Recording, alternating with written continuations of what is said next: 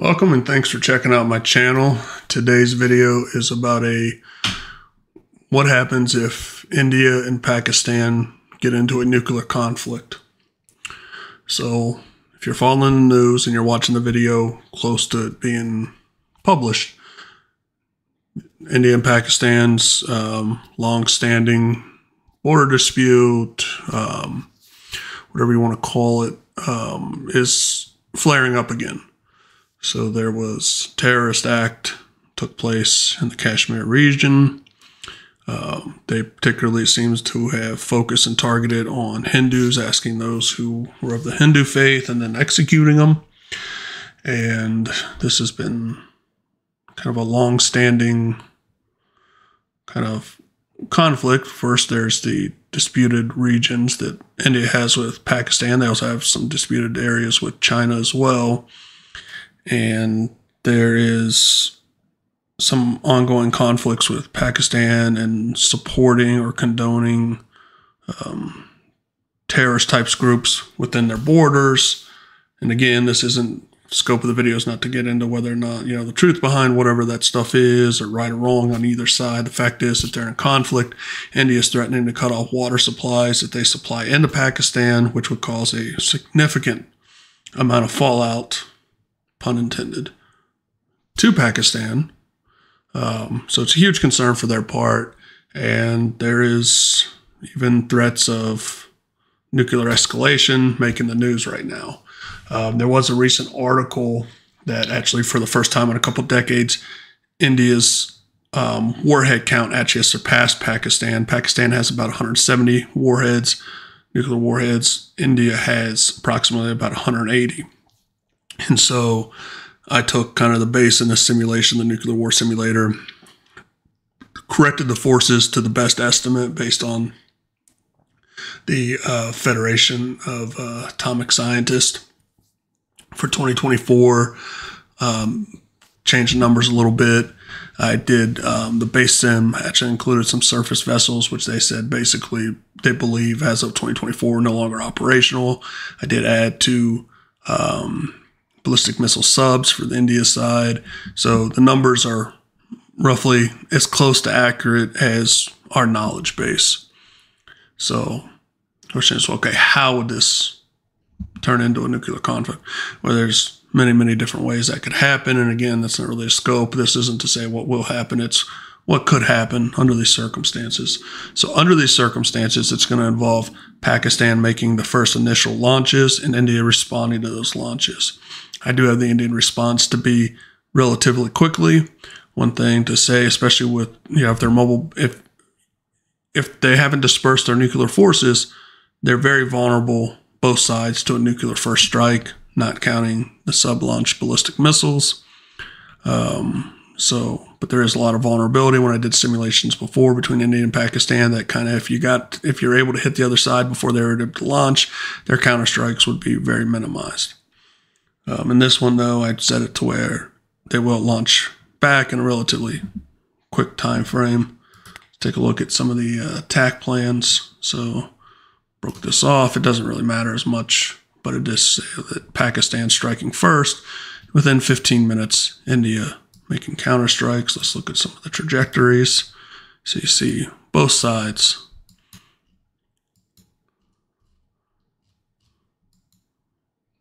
This is both counter force and counter value strikes. So we're going to see a large amount of activity around this.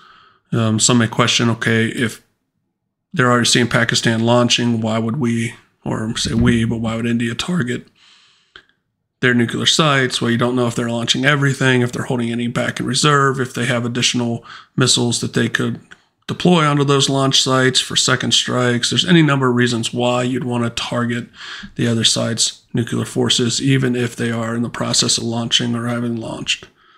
So let's go ahead and stop everything for a second. Let's go ahead and run all scenarios. Let's go ahead and start at 10 times speed. So mobile launchers do take a little bit to deploy and launch usually in the sim at least, that um, sub launched and ICBMs will be the first to launch. and then you'd have mobile launchers take a little bit more time, and then finally you have your airstrikes. So we do see some jets taking off at this point. India would have a mix. I think most of these are the uh, Rafales. They do have some F 16s. Let's see here. I'm sorry, the Mirage, not the Rafales. Okay, so we're already seeing some strikes taking place.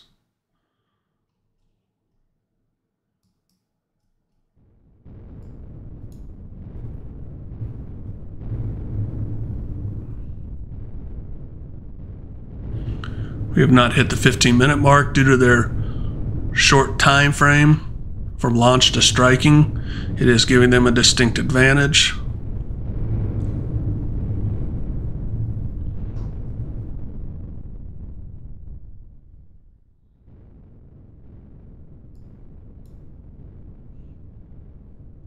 Okay, so India is now responding and starting to start, you know, launching some of their own. They have taken a significant beating already. We see subs are launching here. You have airstrikes taking off. I'm sorry, make sure you see these sub launch ballistic missiles here coming through. I actually have a, one of those ultra widescreen monitors, but it only captures a normal size screen on this. I got to make sure we're seeing all the activity. Now we're seeing some of their surviving mobile launchers starting to strike. We are seeing fighter jets taking off.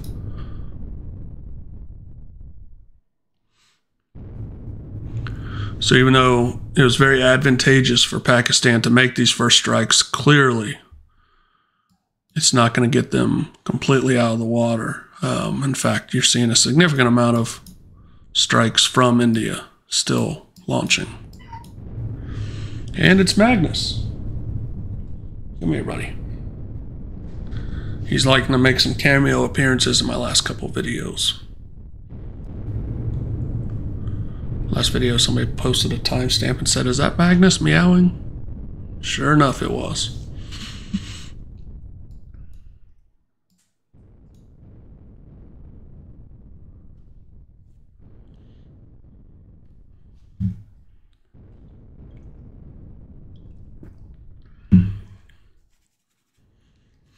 So I think this is one of the areas that's most slept on for a potential nuclear conflict to break out.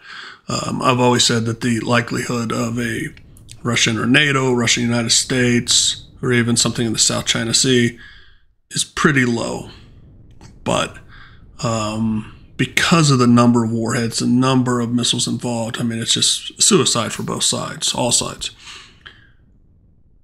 When you have a smaller warhead count, and sharing borders, it would increase that risk. So if Pakistan felt that India was massing troops on their border to say try to take a certain area, take a certain region, vice versa. Um, could be any number of reasons why it could touch off. I still think it's a relatively low probability. But with nuclear weapons, I mean, even a low probability is something you have to take a significant risk of developing, and you have to take that threat serious. Let's go a little faster. I'm going to speed things up just a little bit. These bombers take a little bit of time, but we're starting to come back. Pakistani fighters are still going in. So Pakistan has a mix of their equipment. They've had long-standing ties with China. They've also procured equipment from the United States for quite a long time. Um, we see that possibly a closer relationship between India and the United States, especially as these tariff situations have jumped off. I'm sure a lot of countries would love to fill in some of the um, trade aspects if there was a void with China, but um, it's obviously questionable if any country could really fill in for China when it comes to manufacturing side of things. Um,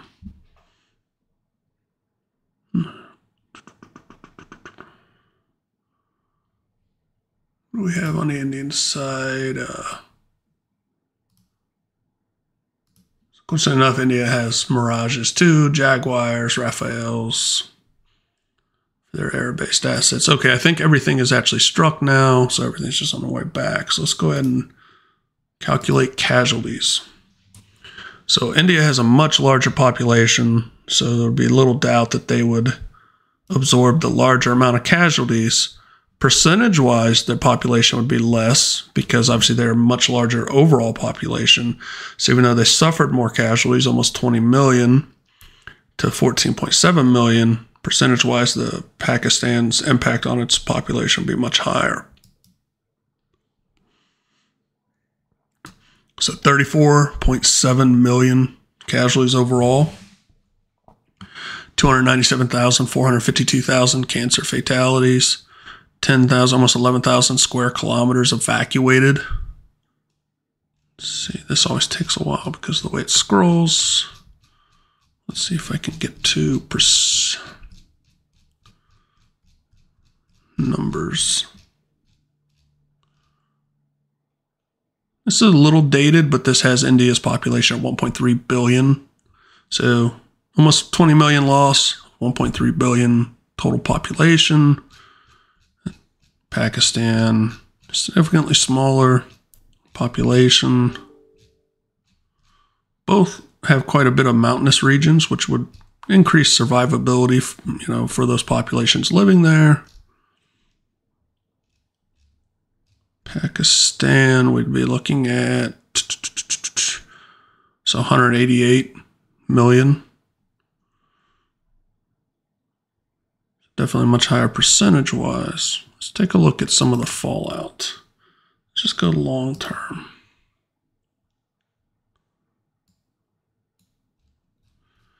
Because both of them deploy relatively small warheads, we're not seeing a ton of fallout comparatively, unless if you'd see like US, Russian, or even Chinese strikes, or even French for that matter. So most of their warheads are in that smaller 12 to maybe 40 kiloton warhead range. Um, give a frame reference, about that 15 to 20 is kind of that spot where the atomic bombs in World War II were.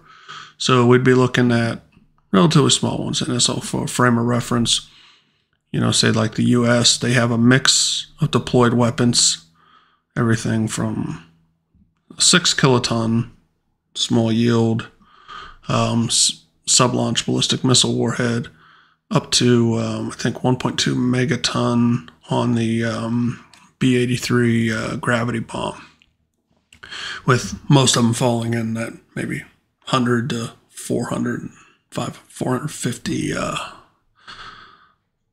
kiloton range. So certainly that impacts total number of casualties, the fallout, and everything in a positive light. So um, now environmentally and other things, I mean, you see significant impact. You know, water isn't concerned right now. Obviously, it'd be even that much more so. So, huge impact overall. We'd see a higher amount of casualties as time progressed, but at least initially, um, not you know end of civilization event. Although a lot of government and major cities would have been tar- you know were targeted and would have taken significant impact. You see New Delhi, Smoking Crater, Islamabad.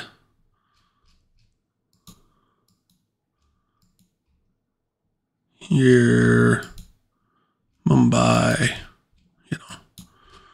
So that would have a very um, huge impact even on these areas that wouldn't have suffered any direct hits, direct casualties from.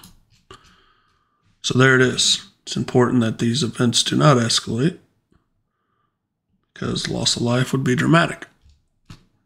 It's not counting other impacts. So let's hope this conflict winds down relatively quickly and we stop ending up on this steer course where conflict seems to be growing around the world rather than shrinking. Everybody has a great day. Enjoy the video. Please like and subscribe. And check out, I've been putting out some ambience videos. If you like to sleep to ambience videos, I got some great ones. But me and my wife been sleeping like rocks to them. So highly recommend to check it out. Thanks. Have a good day.